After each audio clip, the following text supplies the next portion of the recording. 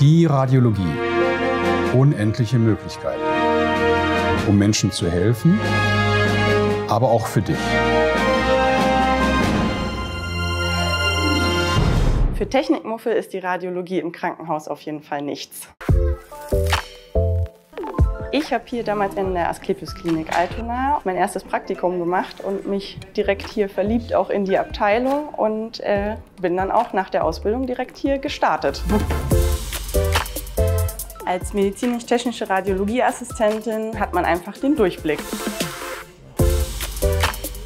Besonders toll ist die Kombination aus dem sozialen, menschlichen Teil und auch aus der Technik, die immer moderner wird. Die Aufgaben der MTA hier in der Asklepios Klinik Altona sind vielfältig. Natürlich gehört das Röntgen dazu, aber viel wichtiger für uns sind die hochtechnisierten Geräte wie MRT und CT, aber eben auch, und das ist vielleicht auch die, die Abgrenzung zu den Arztpraxen draußen, wir machen sehr viele bildgesteuerte Eingriffe, also die Interventionsradiologie spielt eine wesentliche Rolle, wo die MTA steril assistiert und die Patienten eben auch dabei versorgt. Die Herausforderung besteht auf jeden Fall auch in der Organisation in unseren einzelnen Bereichen. Gerade wenn Notfälle dazwischen kommen, muss man umplanen, flexibel sein.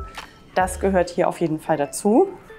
Wir werden hier gefordert und gefördert. Der Vorteil in unserer Abteilung ist auch, dass wir uns wöchentlich besprechen, mit den Ärzten zusammen eine Fortbildung haben, in der zum Beispiel interessante Fälle der vergangenen Woche gezeigt werden, auch was aus diesen Patienten dann im Anschluss geworden ist.